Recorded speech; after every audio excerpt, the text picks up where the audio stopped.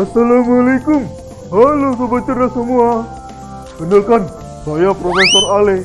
Di sini saya tidak sendiri. Saya ditemani Salman dan Sofia. Pagi ini kita akan belajar bereksperimen menambah wawasan kita.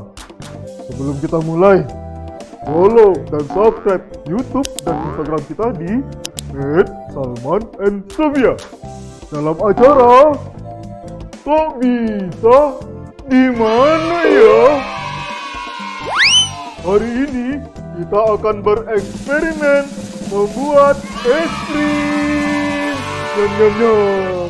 Siapa sobat cerdas yang suka es krim? Prof Ale juga suka banget loh.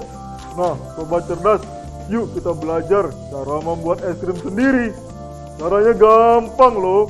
Prof Ale sudah siapkan susu cair, ada es batu, ada garam, mangkok dan plastik dengan klip yang kecil dan yang besar. Yuk kita mulai saja. Prof Ale sudah tidak sabar nih. Bismillah. Pertama, kita masukkan dulu nih. Susu ke dalam plastik kecilnya. Kita tuangkan. Hingga penuh nah, lalu kita klip kita tutup kantongnya. Sudah cukup rapat belum ya? Nah sudah tertutup rapat lalu kita ke plastik yang lebih besar Kemudian plastik yang besar ini kita isi dengan es batu, garam, dan juga susu yang tadi. Kita masukkan ya. Dingin. Bismillah. Cepat-cepat ah. Tangan prof alenya nggak kuat. Kita masukkan semuanya saja. Tuangkan saja ya. Nah, sudah terisi es. Lalu kita masukkan garamnya ke dalam es batu ini. Dan juga susu tadi. Apakah akan menjadi es krim? Kita tutup ya.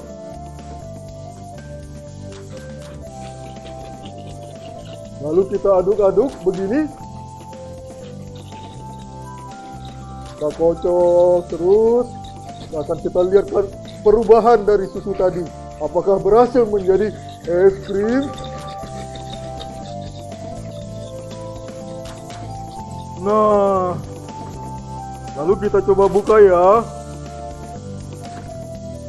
Susu yang tadi terlihat sudah membeku nah kita coba tuangkan ke dalam mangkok. Apakah benar sudah jadi es krim? Nah, sobat, es krim instan.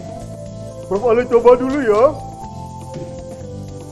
Bismillahirrahmanirrahim. Allahumma barik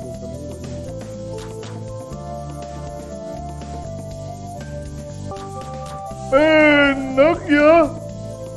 Kok bisa? Gimana ya? Ini disebabkan karena adanya garam. Ketika garam ditambahkan es, titik suhu beku air menjadi menurun lebih dingin. Es mencair membutuhkan panas dari susu cair. Karena panas susu cair diambil, susu cair jadi dingin.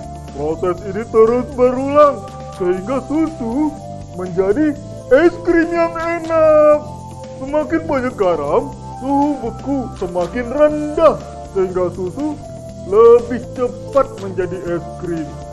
Sekarang, sobat cerdas bisa buat es krim sendiri ya. Sekian eksperimen hari ini.